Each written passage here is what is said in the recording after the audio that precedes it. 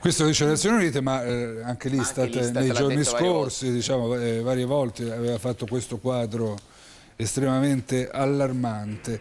Allora, Linda Laura Sabatini, eh, l'ho già presentata, è direttore del Dipartimento Sociale dell'Istat. Che quadro generale possiamo fare, in breve naturalmente, della situazione italiana oggi?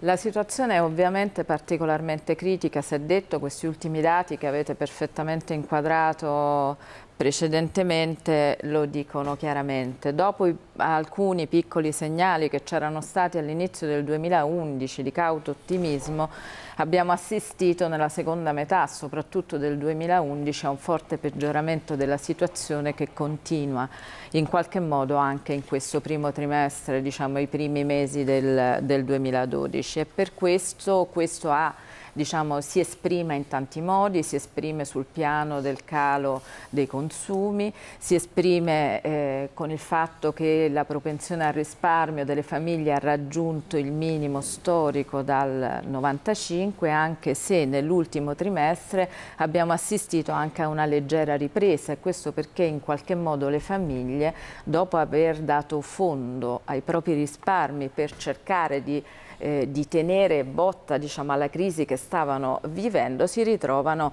eh, invece a dover fare i conti con una crisi che ha caratteristiche diverse, che comincia ad essere più lunga e quindi percepiscono che è necessario anche fare attenzione a mantenere i propri risparmi in prospettiva. E questo è un elemento particolarmente importante perché una delle caratteristiche di questa crisi è stato anche il fatto che noi non abbiamo assistito a una crescita così forte, diciamo così, della povertà come sarebbe potuto essere perché le famiglie, la famiglia in qualche modo è riuscita a, ad agire come eh, tampone in qualche modo di questa crisi, come ammortizzatore sociale vero e proprio. Familiare. In sostanza quello che, successo, quello che è successo in questi anni è che a fronte di un crollo dell'occupazione soprattutto giovanile, perché l'80% del, del lavoro che si è perso è stato lavoro giovanile,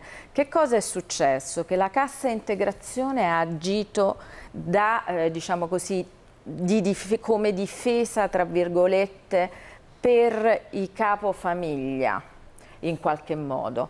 E la famiglia ha agito come ammortizzatore per i figli espulsi dal mercato del lavoro. Quindi in sostanza noi abbiamo avuto una situazione in cui Due ammortizzatori sociali fondamentali hanno fatto sì che la situazione non degenerasse più di quanto eh, non è avvenuto. Se non ci fosse stata la famiglia, in qualche modo, con la permanenza o il ritorno degli stessi giovani all'interno della famiglia di origine, avremmo avuto, e fossero stati colpiti per esempio i capifamiglia, avremmo avuto un'incidenza di povertà molto superiore, perché è evidente che il reddito di un giovane è un reddito che non è il reddito fondamentale della famiglia, considerando che la maggioranza dei giovani colpiti erano poi giovani che vivevano all'interno della famiglia ecco, di origine. Però questo argine diciamo, si va purtroppo questo sgretolando. Argine, questo è, il problema, è un problema serio che c'è ovviamente, perché questo è un argine, è un, è un qualcosa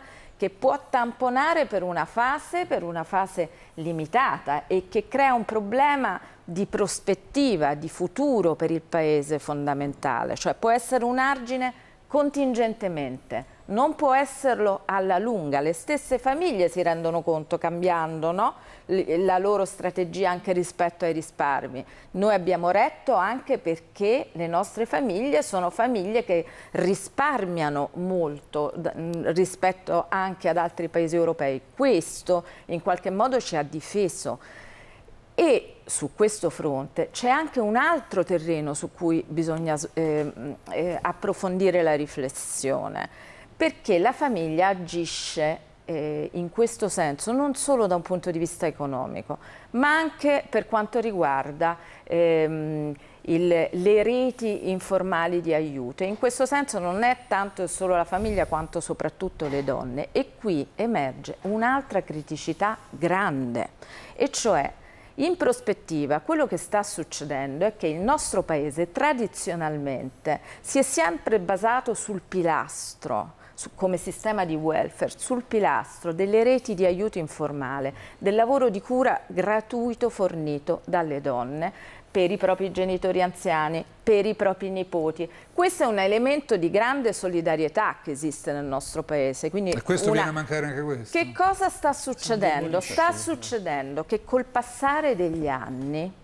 eh, le donne non ce la fanno più a reggere questo ruolo perché è cresciuta l'occupazione femminile e le donne hanno dovuto continuare a mantenere questo ruolo con tutte le ore di lavoro extradomestico in più e quindi il lavoro di cura si è andato a sommare al lavoro extradomestico in un paese in cui la spesa sociale per la famiglia, per i nidi, i servizi sociali, la distribuzione che c'è sul territorio che è totalmente sperequata al sud quasi non c'è. In un paese di questo tipo il carico che le donne si trovano sulle spalle è molto molto elevato. E che cosa succede? Che le donne cominciano a tagliare cioè i tagli li fanno anche le donne perché non ce la fanno più, mm. lavorano più degli uomini, sono assolutamente sovraccariche, non ce la fanno a reggere quel carico, cominciano a tagliare. Però se tagliano le ore le donne, arrivano meno ore di aiuto a anziani non autosufficienti, arrivano meno ore di aiuto ai nipoti e questo sta avvenendo parallelamente al taglio anche sul piano della spesa sociale. Quindi il rischio qual è? Che anche questo ruolo informale che la famiglia svolgeva tramite le donne in particolare di assistenza e cura verso altri viene messo in crisi e quindi noi avremmo bisogno di rifondare il nostro sistema di welfare. Anche su questo per garantire la, il soddisfacimento dei bisogni dei soggetti più svantaggiati. E Beh. purtroppo siamo in un momento in cui invece eh, non si investe diciamo, su questo terreno, quindi non c'è un problema solo di mancanza di lavoro, c'è un problema pure di chi si potrà far carico di quei bisogni a cui prima davano risposta le donne e ora non possono più darlo.